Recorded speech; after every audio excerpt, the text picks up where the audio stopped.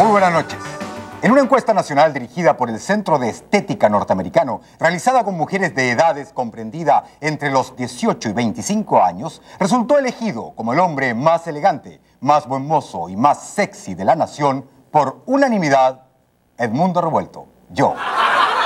¿Quién más? Gracias, chicas. Yo sé que ustedes tienen muy buen gusto.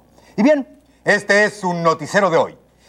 Nos encontramos en época de huracanes y terremotos y queremos concientizar a nuestros televidentes sobre lo espeluznante que es una catástrofe de esta envergadura. Cuántos destrozos, cuántas pérdidas humanas. Así, en un 2x3, así, un 2x3. No es para asustarlos, pero lo que se acerca es la debacle. ¿Se imaginan todo en ruinas? Peor que el diluvio universal, peor que la guerra de Hiroshima y Nagasaki. Señoras, señores, en la devastación de nuestro planeta. Padre nuestro que estás en los cielos, santificado sea tu nombre. Líbranos.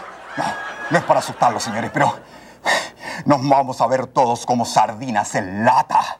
Para explicarnos qué debemos hacer en caso de que ocurra un huracán o un terremoto, ante ustedes, señores, nuestra meteoróloga Coqueta Nubarrón. Y ahora, con su permiso, yo me voy al baño. ¡Ay, ya me toca a mí! ¡Fantástico! ¡Cómo me encanta salir en la televisión! Bueno, hoy les voy a enseñar cuáles son los métodos a seguir en caso de un huracán o un terremoto. Primero que todo, despójese de todas sus prendas que lleve encima para que así quede más livianito, más delgadito en caso de que le toque que meterse en un huequito bien estrechito. Segundo, muy importante tener a mano un muy buen colchón. Sí, un muy buen colchón, cómodo, confortable. Ah, y si tiene buena compañía, muchísimo mejor. Bueno, ahora le voy a decir cuáles son los pasos a seguir en caso de un terremoto. Primero que todo, aférrese a lo primero que encuentre encima.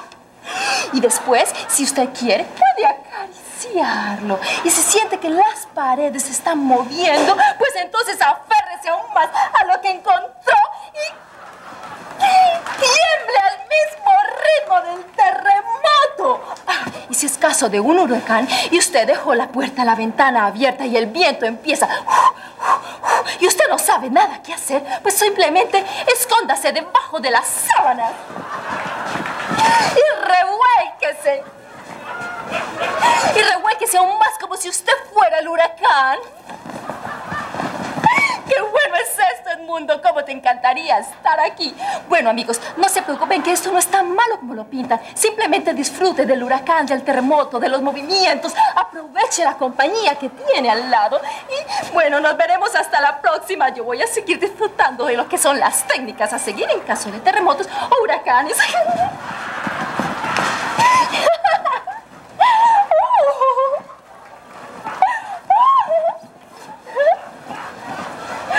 ¡Qué divertido!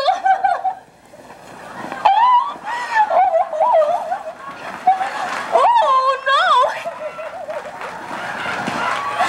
¡Wow! Ay, coqueta, coqueta. Usted siempre me hace transpirar la gota gorda con esa manera tan original que tiene de presentar el tiempo. Bien,